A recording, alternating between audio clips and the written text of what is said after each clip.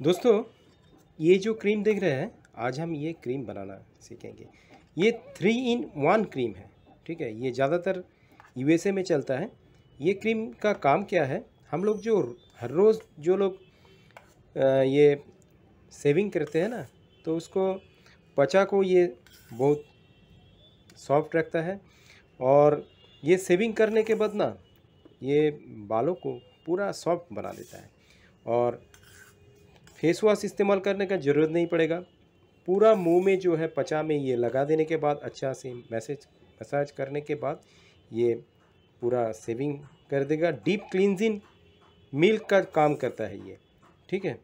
और जो बाहर में हम लोग जो घूमते हैं, जो देखिएगा, मॉइस, मैंने जो बाहर का जो पॉल्यूशन लग जाता है, पूरा खींच के बाहर कर देता है, ठीक है? और ये बहुत बढ़िया क्वालिटी का क्रीम है, आप बना के मार्केट में बेच भी सकते हैं। ये थ्री इन वन क्रीम है। ये मैंने आप इंडिया में लॉन्च कर सकते हैं। बहुत अच्छा क्वालिटी का है। सेविंग भी करेगा और फेस वॉश का भी काम करेगा। डीप क्लिनजिंग मिल्क का काम करेगा। पूरा जो है बाहर का जो ये पॉल्यूशन है, खींच के बाहर कर देता है। ठीक है? तो चलिए, आज कुछ नया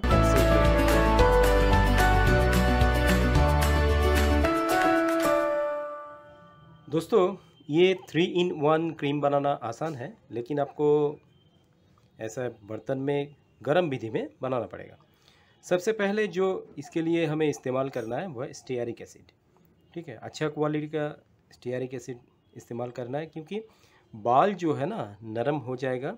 जो ये प्रोसेस है प्रोसेस में बाल नरम हो जाएगा तो सेविंग करने में मज़ा आएगा। ठीक है, हर रोज़ जो सेविंग करते हैं, उसके लिए ये स्पेशल है। ओके कोई मैंने हाँ, हमारा जो स्किन है स्किन में कोई प्रॉब्लम नहीं आता है। हर सुबह आप इसे इस्तेमाल कर सकते हैं ठीक है? तो सबसे पहले हमें लेना है स्टेरिक एसिड। इसे मैं खुद इस्तेमाल करूँगा तो थोड़ा ज़्यादा ही बनाएँगे ठीक है? एक बार बना लेंगे बहुत दिन चलता है। इसके बाद इसमें पानी ऐड कर देना है। आर वाटर या डिस्टिल वाटर आप यूज़ कर सकते हैं। अभी इंडक्शन को ऑन कर देंगे। धीमा आँच में बनाएँगे, ठीक है? ये सब चीज़ जो है ना, धीमा आँच में अच्छा बनता है। मतलब 60 डिग्री टू 70 डिग्री ऐसा टेम्परेचर में ये चीज़ जो है अच्छा बनता है। देखिए, इसमें 500 है। थोड़ा गर्म हो जाने के बाद इसको 300 कर देंगे। तो और भी अच्छा होगा। धीरे धीरे ये मेंट होने लगेगा पानी के साथ।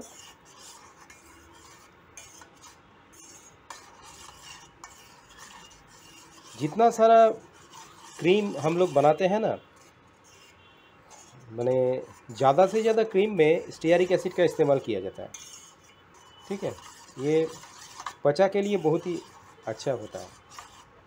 स्टेयरिक एसिड ज़्यादा से ज़्यादा क्रीम में इस्तेमाल होता है। देखिए, ये मेल्ट होने लगा है। ठीक है? तो आपको क्या करना है?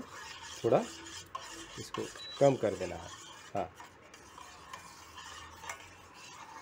देखिए, धीमा आज में ये धीरे धीरे धीरे धीरे ऐसा मेल्ट होता जाएगा। पूरा मेल्ट हो चुका है। थोड़ा थोड़ा बाकी है अभी।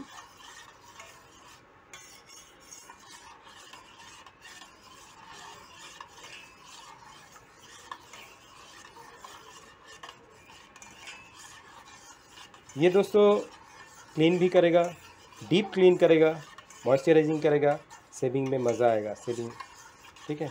तो अब देखिए, ये पूरा मेल्ट हो चुका है। तो अब हम इसमें डालेंगे ग्लिसरीन थोड़ा सा ग्लिसरीन ऐड कर देंगे। ठीक है? ताकि पचा सॉफ्ट हो मैंने सॉफ्ट रहे। अब इसमें क्या डालना है हमें? अब इसमें अब इसमें एस एल ऐड कर देंगे। जो नॉर्मल एस एल है, वही इसमें ऐड करेंगे ताकि ये कम दाम में भी बने, ठीक है? आप चाहे तो डेसिल ग्लूकोसाइड भी इसमें ऐड कर सकते हैं। मैं ये इस्तेमाल करूँगा तो इसके लिए थोड़ा सा ग्लूकोसाइड भी इसमें मैं डालूँगा।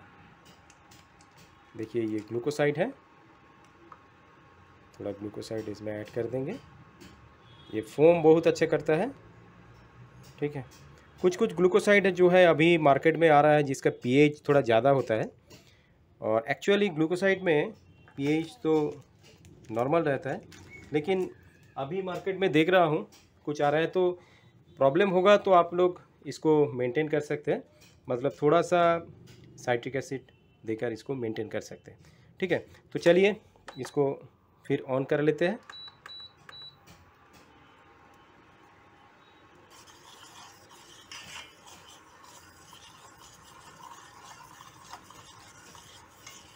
धीमा आँच में इसको मेल्ट होने में थोड़ा टाइम लगता है।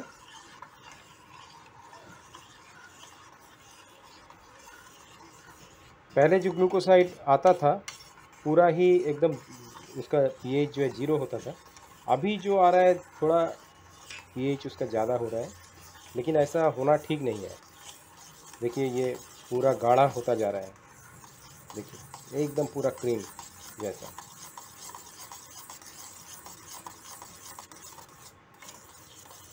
देखिए, आपको स्टेयर करना है। देखिए, पूरा क्रीम जैसा। अभी थोड़ा सा धीमा कर देंगे आँच को।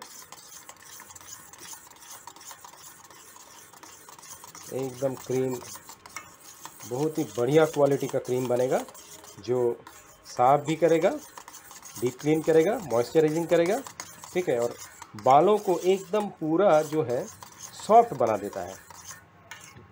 तो इसमें क्या होता है? सेविंग करने में मज़ा आ जाता है। ठीक है? इसको थोड़ा बंद कर देते हैं। बस, अभी क्या करना है? थोड़ा प्रिजर्वेटिव इसमें ऐड कर देना है। और प्रिजर्वेटिव ऐड करने से पहले दोस्तों थोड़ा सा इसका पीएच जो है चेक करेंगे क्योंकि ये नया आया है मेरे पास। ठीक है, ये देखिए। बहुत ज़्यादा है ना? यही दिक्कत है। मेरे, मैंने आगे का जो था, वो उसमें एकदम ठीक ठाक था ज़ीरो था 5.5 था, लेकिन अभी जो डेसिल ग्लूकोसाइड आया है इसमें देख रहा हूँ कि पीएच थोड़ा ज़्यादा है। ठीक है तो इसको पीएच जो है मुझे मेंटेन करना पड़ेगा। इसका पीएच बैलेंस करने के लिए इसमें थोड़ा साइट्रिक एसिड मैंने दे दिया है। इसको अच्छा से मिक्स कर लेंगे। आप अपने हिसाब से दीजिएगा।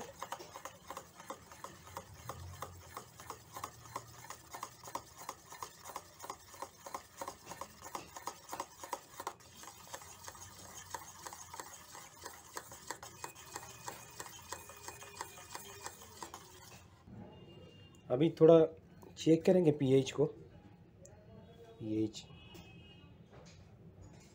ठीक ठाक है।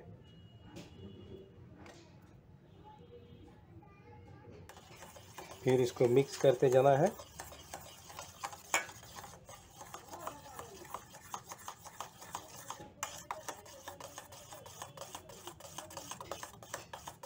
धीरे धीरे ये क्रीम जो है देखिए, गाढ़ा होता जाएगा।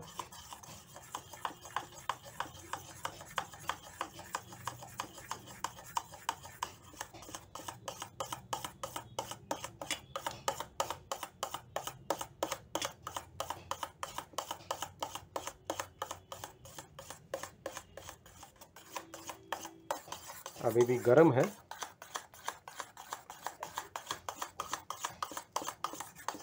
थोड़ा ठंडा होने तक इसको मेल करते रहना है।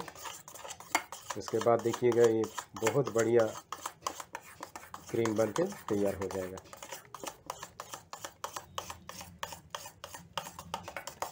ये थ्री इन वन है। डीप क्लीनिंग मिल्क की तरह काम करता है। सेविंग भी बहुत बढ़िया करता है। पूरा मुँह में लगा के जो फेस वॉश होता है ना फेस वॉश का काम भी ये करेगा। पूरा मुँह में लगा के हल्का हल्का मैसेज मसाज करना है। उसके बाद दाढ़ी मतलब सेविंग कर लेना है। ठीक है?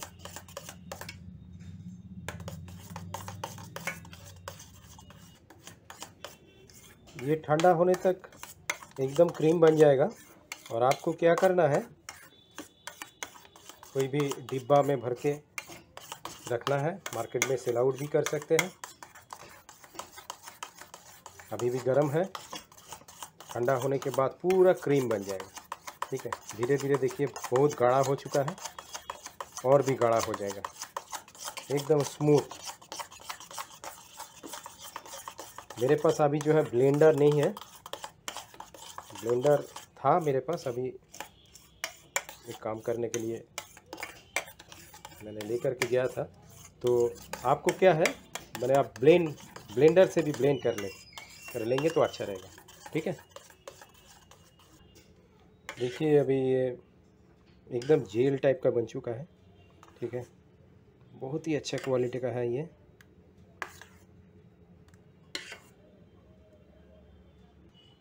एकदम लास्ट में दोस्तों क्या करना है? थोड़ा सा प्रिजर्वेटिव इसमें ऐड कर देना। एकदम थोड़ा सा लगता है।